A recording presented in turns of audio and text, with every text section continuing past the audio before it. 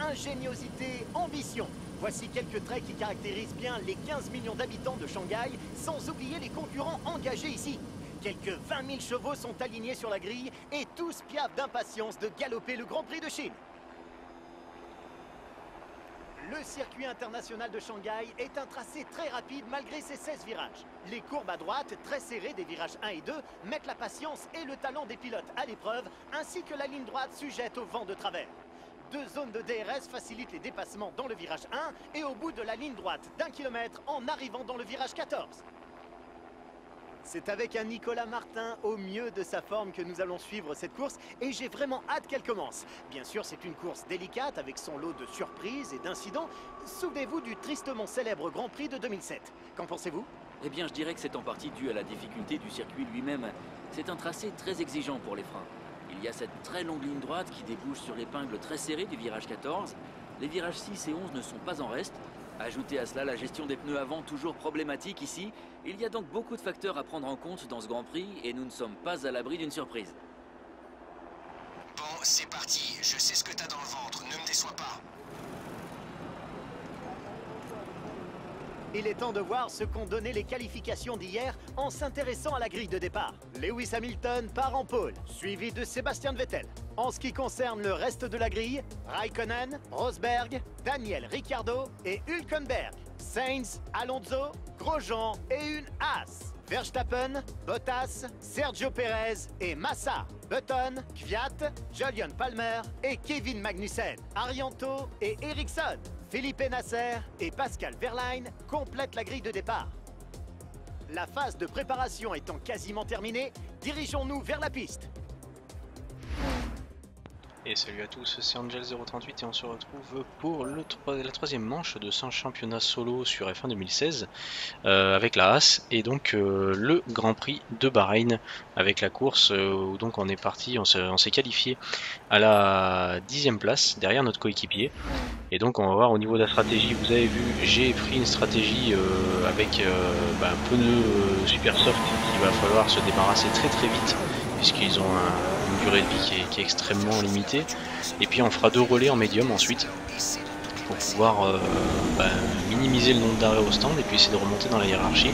Et bien sûr, bah, le départ va conditionner cette remontée, bien sûr.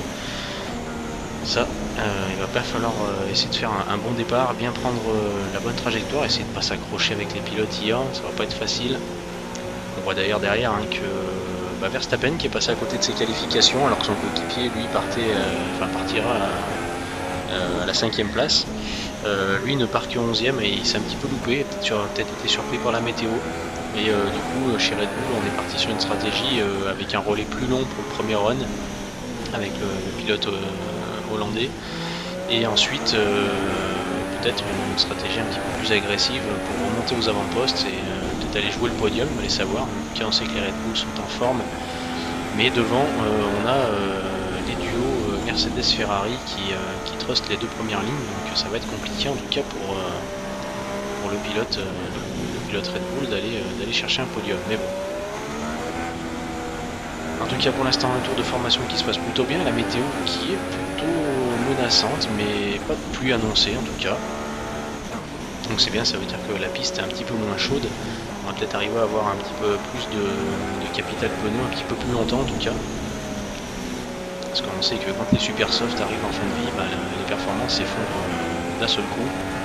Donc ça risque d'être un petit peu chaud à, arriver à garder euh, l'avantage. On va pas falloir se couper, on essaie de chauffer les, gommes du mieux qu'on peut. L'énorme ligne droite ici, hein, deuxième zone de DRS, où beaucoup de dépassements sont possibles, des dépassements souvent spectaculaires et qui peuvent aussi euh, très mal se terminer hein, si toutefois il y avait euh, une touchette. Alors que là l'ordinateur prend le relais pour finir la mise en grille et donc je vous ai coupé la, fin de la mise en grille, hein, c'est-à-dire le moment où on attend que les pilotes finissent de se mettre en place pour assister directement au départ.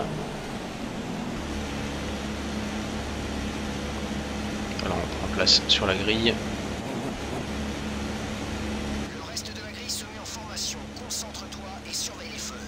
Et voilà, grille qui est en place, le départ va être donné, les feux s'allument. Et c'est parti, on prend un bon envol, ça a l'air de bien se passer. Euh, Grosjean qui a un petit peu plus patiné, on voit euh, même euh, le départ en caméra TV. On voit euh, Verstappen qui a directement bondi sur Grosjean pour aller porter une attaque. Et nous on a réussi à s'engouffrer un petit peu dans le, dans dans le pike et à prendre l'intérieur. Ici on a un peu à la lutte avec Ricardo, on est remonté, euh, non pas avec Ricardo pardon, avec euh, Alonso. Ricardo qui était à la lutte avec euh, Hülkenberg sur le départ. Et finalement, euh, pas d'accrochage sur le départ, ça s'est plutôt bien passé. Attention, Verstappen sur Grosjean derrière, ça a failli toucher. Et Massa qui s'est fait enfermer, lui, hein, par contre, sur son départ, hein, qui est derrière Grosjean. Et derrière nous, on a Bottas, son coéquipier. Il va falloir qu'il remonte pilote brésilien. Là, on arrive euh, dans les échappements hein, de- des voitures qui sont devant. on derrière Sainz. Sainz aussi qui s'est un petit peu loupé hein, parce que euh, il a perdu euh, un, petit peu de, place. Il était bien placé sur la grille de départ et là un petit peu- il est un petit peu plus loin. On va voir ici avec la, puissance du moteur Mercedes sur la Williams si euh, Bottas va pouvoir poser une attaque avec la SPI. Il n'y a pas encore le DRS mais euh, la puissance peut suffire. On surveille les rétros, on voit hein, que le pilote finlandais est derrière. Aspiration marche. Et euh, on va revoir ce qui se passe au niveau des départs et au départ de Sébastien Vettel d'ailleurs. On va regarder un petit peu ce qui s'est passé. Donc Vettel qui s'est un tout petit peu loupé par rapport à Rosberg. Et on a vu Rosberg qui est bien mieux parti que lui. Puis après ça s'est passé euh, sans encombre, il n'y a pas eu d'accrochage. Tout s'est bien passé pour le pilote allemand. On voit derrière les rétroviseurs hein, qu'Hamilton a, a réussi à surprendre euh, Raikkonen. On va voir d'ailleurs ce qui s'est passé. Et bien ce qui s'est passé, c'est très simple. Euh, Hamilton a pris un très bon départ. Il a même commencé à remonter sur Vettel et puis il a été obligé un petit peu de lever le pied. Mais Raikkonen, lui par contre, s'était complètement loupé. D'ailleurs, il y a une petite touchette entre Raikkonen et, euh, et Lewis. Mais bon, sans gravité, ça a failli aussi un toucher entre le- l'aileron avant de, Hamilton et, euh, et le pneu arrière de, Vettel. On va avoir le même départ de la vue de Grosjean.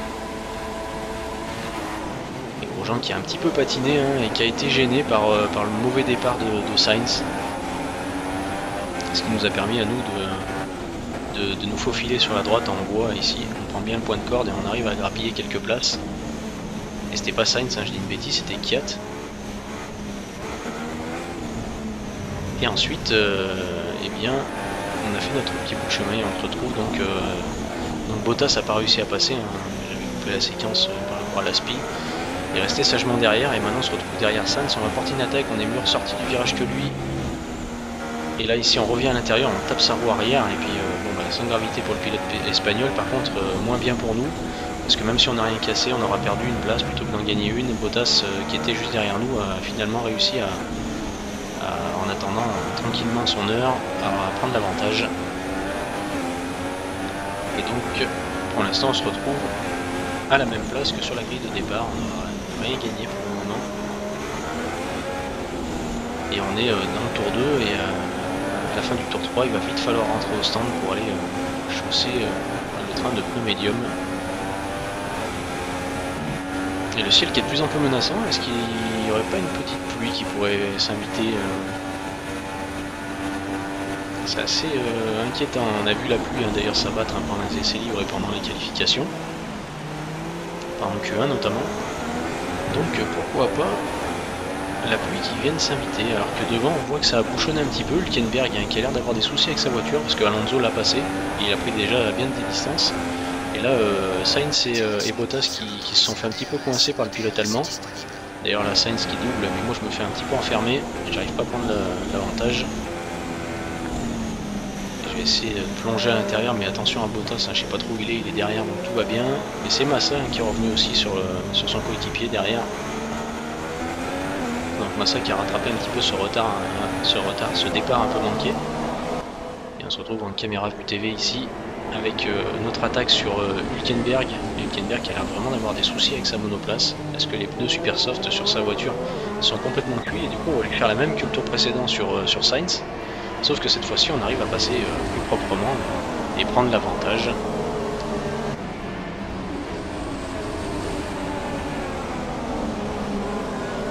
Donc, l'opération s'est passée sans encombre.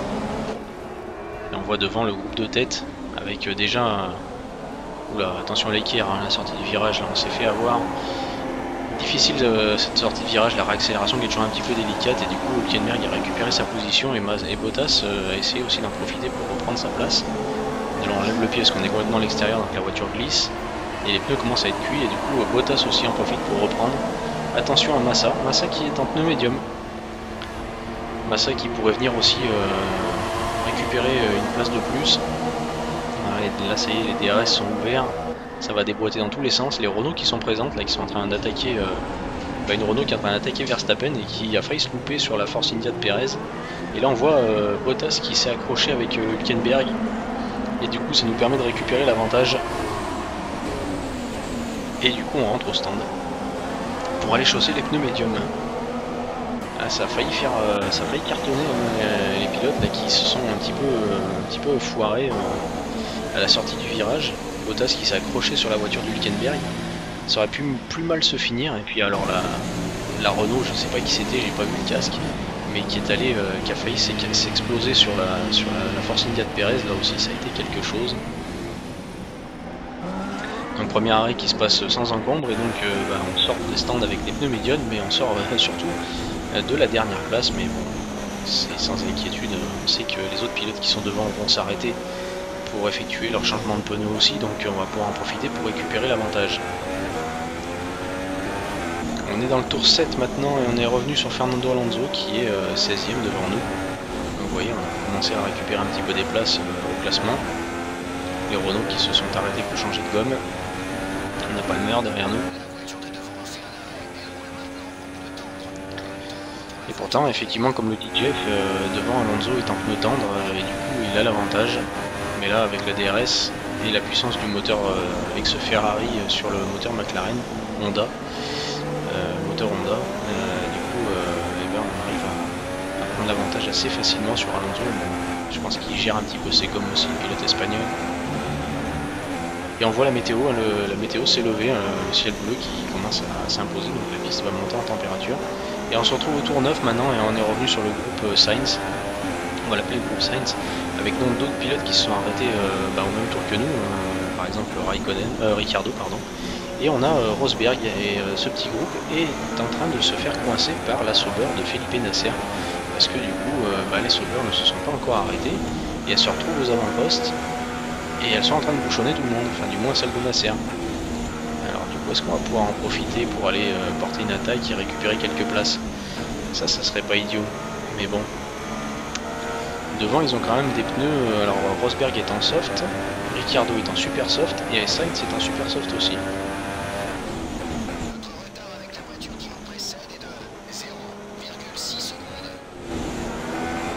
on va avoir accès au DRS, alors avec leurs pneus euh, ils vont pouvoir accélérer plus fort. Et du coup, euh, ça va être dur de, rester au contact en sortie de virage. On va quand même mettre toutes nos chances de notre côté entre le mélangerie et le DRS pour rester au contact de ces pilotes. Ça déboîte dans tous les sens devant. On va avoir euh, Rosberg qui a pris l'avantage sur Nasser. Ricciardo qui a pris l'avantage sur la gauche. Attention à la touchette hein, dans le virage, ça va, c'est bien passé. Nasser qui n'a pas insisté. Et du coup, il va y avoir des arrêts au stand, je pense. Et euh, ben voilà, on a trois pilotes, il reste plus que Ricciardo. On a Rosberg, Nasser et Sainz qui rentrent au stand, euh, qui étaient tous les trois donc un pneu super soft et qui rentrent au stand pour aller chausser des pneus différents. On se retrouve donc deuxième derrière Ricciardo et derrière qui voilà Lewis Hamilton qui vient de changer ses pneus pour un train de soft. Attention à Hamilton est un peu essayer de s'infiltrer pour prendre l'avantage et encore un peu on, s'encadrer l'aileron avant de, la, Mercedes. pas non plus euh, jouer les casse-coups euh, Lewis. De toute façon on sait très bien qu'on va pas pouvoir lutter, lutter longtemps face à la Mercedes donc on va gentiment le laisser passer dès qu'on en a l'occasion. Parce qu'il faut pas déconner non plus, il n'y a pas de drapeau bleu. C'est pas moi qui vais aller euh, aider le pilote britannique. permet à Ricardo d'aller euh, un petit peu prendre le large.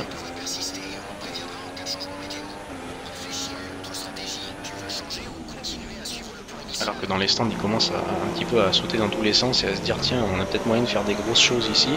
Si on rentrait au stand plus tôt et qu'on le faisait rentrer pour changer de stratégie. Mais bon, moi je suis resté sur la stratégie qu'on avait établie avec Cyril. Et du coup, euh, je vais attendre le tour 13 pour rentrer au stand et chausser un autre train de pneus médium. Et justement, on arrive au tour 13. Et au tour 13, je rentre au stand et regardez mon pneu avant gauche. Juste au moment de rentrer au stand, et bien mon pneu avant gauche a éclaté. Donc j'étais vraiment arrivé à la fin de la vie de mes pneus. Euh, donc mes pneus auront duré 10 tours, tout simplement. Ce qui n'est pas vraiment ce qui était prévu. Donc on va repartir pour euh, un relais d'une dizaine de tours avec les, pneus médiums. Et du coup on va pas aller au bout. On va pas aller au bout de la course avec ces pneus médiums, c'était pas, pas ce qui était prévu. Donc ça remet un petit peu à plat la, stratégie qui était, euh, qui était prévue à l'origine. Et donc euh, bah, on est euh, au tour 15. Non, c'était à la fin du tour 14 hein, que je suis rentré, donc les pneus avaient 11 tours. Et donc là on est début du tour 15. Et du coup je ressors à la 13 e place derrière mon coéquipier. Donc entre temps, tour 16, mon coéquipier est rentré au stand. Et je suis revenu sur Felipe Massa qui est toujours avec ses pneus médiums, donc lui il ne s'est pas encore arrêté. On a vu tout à l'heure, il, a dû, euh, a dû faire deux relais en, médium, le pilote euh, brésilien. Parce qu'il est parti en médium. Là, il est encore en médium. Je pense pas qu'il ait fait 16 euh, tours avec les mêmes pneus. Mais il a dû rentrer il n'y a pas longtemps au stand.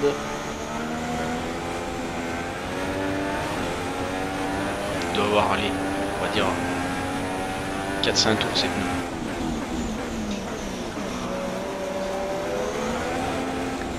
on va aller euh, une attaque sur le pilote brésilien, puisque là on est vraiment dans la zone de DRS on a des pneus un petit peu plus frais que les siens. À mon avis aussi, euh, Massa est en train de, gérer sa gomme pour aller le plus loin possible avec son train de pneus. C'est imparable. Avec le DRS, ça double, plus le mélange riche. On se retrouve donc maintenant 12ème derrière notre coéquipier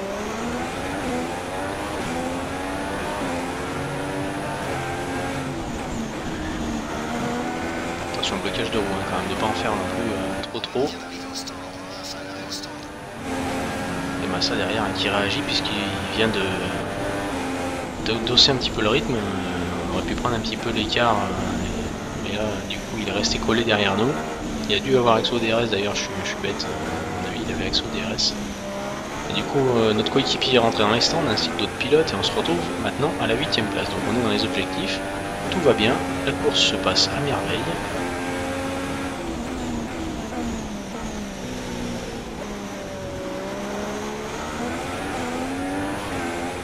On est euh, pris en sandwich entre les deux, euh, les deux Williams, puisque devant on a Bottas. Bottas qui est en médium aussi, donc euh, stratégie sur de, de long run pour l'écurie Williams visiblement pour cette course.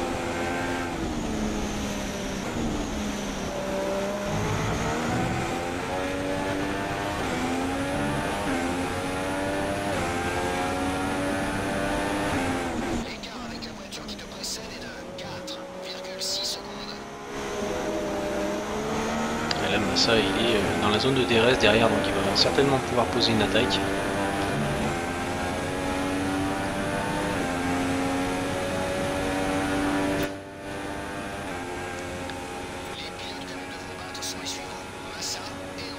Voilà, du coup, euh, c'est pour ça que je me dis, tiens, je vais poser la question, euh, qui sont mes adversaires à Jeff Et il me dit tout simplement que mes adversaires sont Grosjean, donc moi là pour le défi des coéquipiers, et Massa pour cette course des pilotes qui s'arrêtent au stand. Et d'ailleurs, c'est des pilotes qui, à mon avis, étaient en train de ralentir un petit peu Bottas. Dans l'eau, on avait... Euh, j'ai l'impression qu'on avait Ricciardo.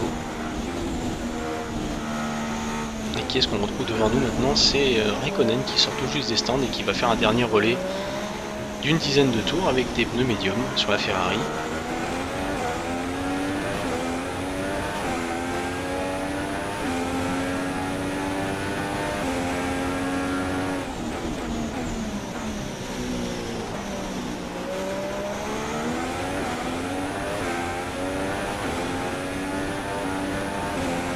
Alors on est un petit peu plus loin dans le tour 18 maintenant. Et Massa qui euh, pose son attaque avec le DRS.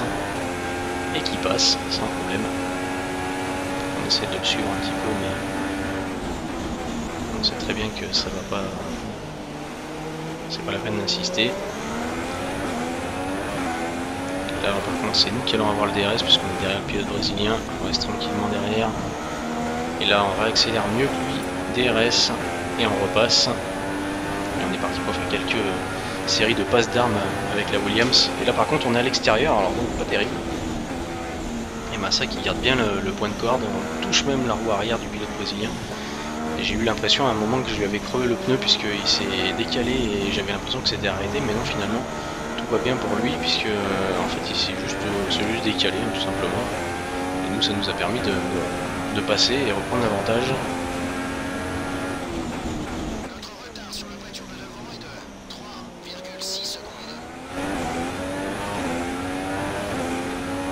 Massa du coup qui reste collé à nos échappements qui attend patiemment de, pouvoir de nouveau passer puisque de toute façon on sait très bien que s'il reste sous la, sous la seconde dans la grosse ligne droite euh, avec le DRS, il repassera forcément. À nous d'essayer d'y résister le, plus possible.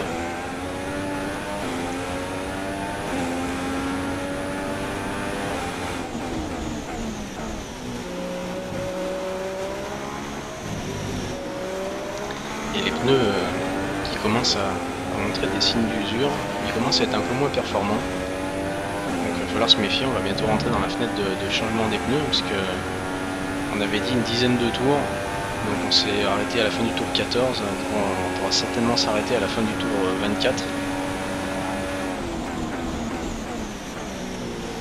voire avant.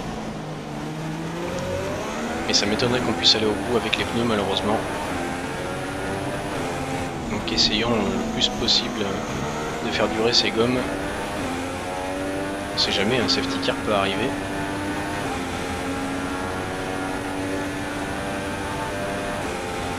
que la Massa était avec le DRS, il aurait pu nous déboîter mais il ne l'a pas fait. On essaie de bien prendre le point de corde, de laisser aucune ouverture pour la Williams. C'est vrai que c'est perturbant hein, quand on est chassé comme ça, autant quand on est chasseur on n'a qu'un seul objectif, on a une voiture qui est devant nous et c'est super motivant et autant quand on est chassé on est tout le temps en train de regarder les rétros et du coup un peu moins ce qui se passe devant c'est un peu compliqué du coup.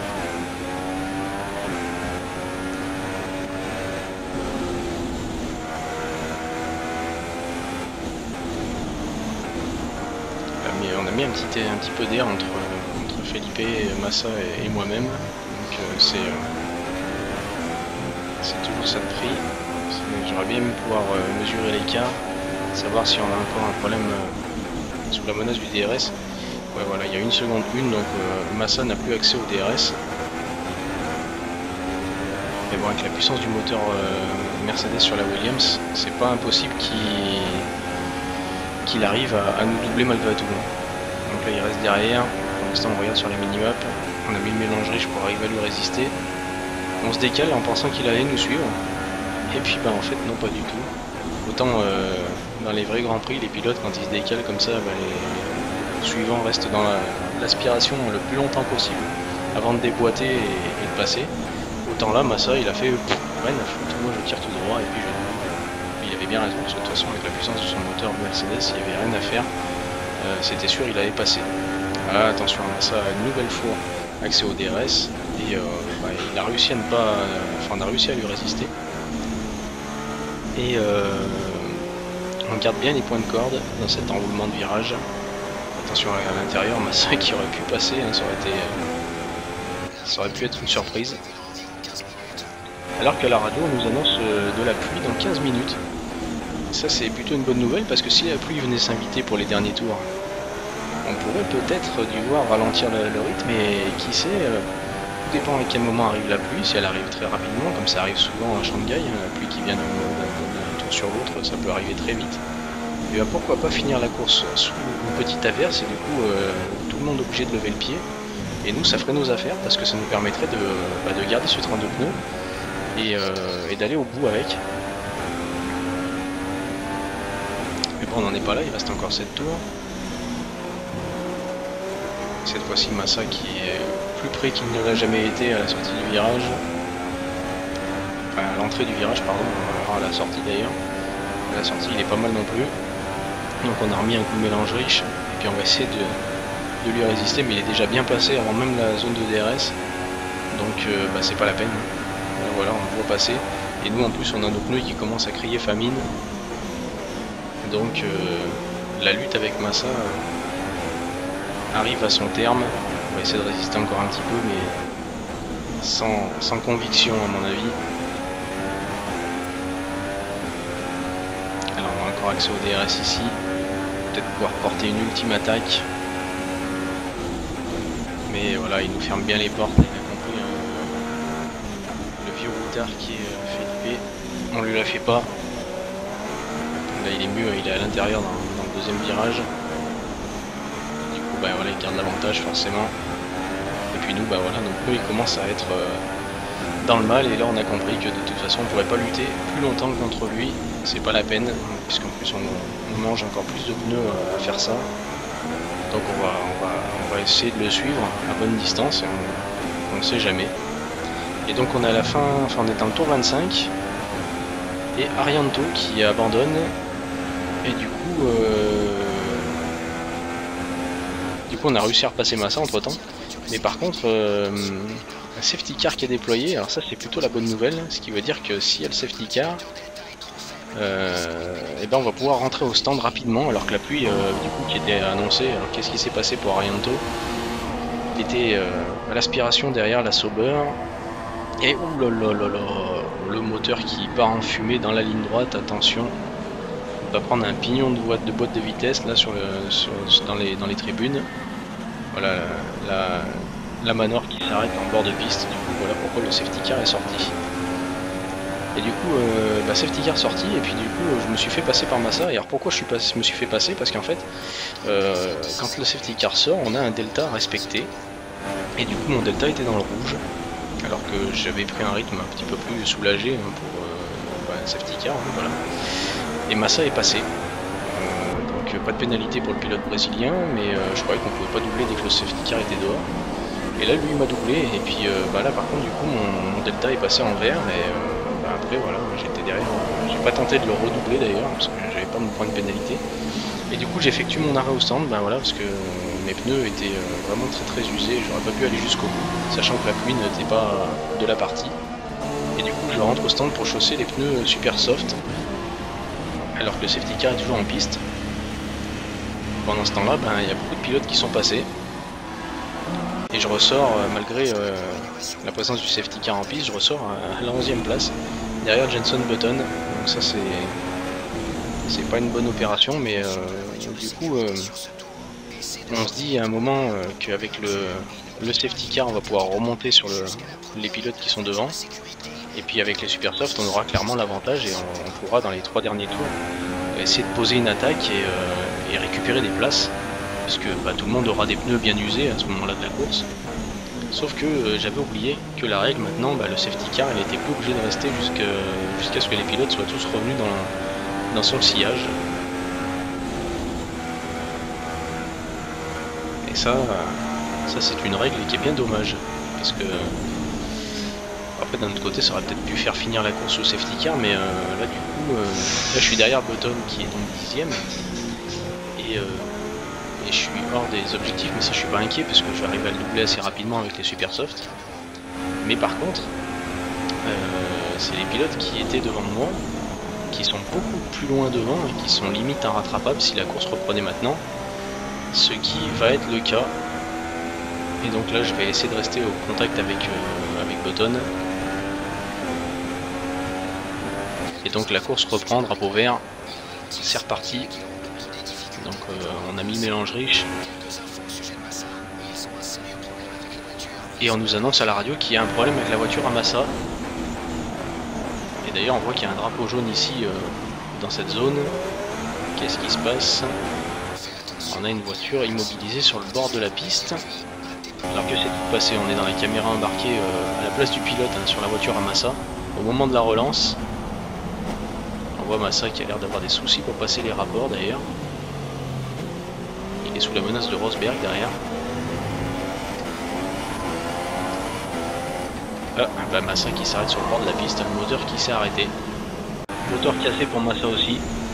Ce qui fait nos affaires aussi, hein, parce qu'on gagne deux places. On récupère une place sur Button et une place euh, grâce à l'abandon de Massa. Et on va rentrer dans le dernier tour et malheureusement bah, les pilotes qui sont devant sont bien bien loin. On a Kiat qui est devant avec ses médiums même s'ils sont usés. Ils sont devant avec 6 euh, ou 7 secondes d'avance. Donc c'est pas possible, on pourra pas pourra pas aller les chercher. Et euh, du coup on va essayer de finir la course sans perdre de place pour autant. Parce que bah, on sait que les super softs s'usent très vite. Donc, donc on va voir ce qu'on peut faire. Attention à pas se couper quand même dans les freinages, là on est dans le dernier tour, hein. ce serait pas le moment de, faire une, bêtise.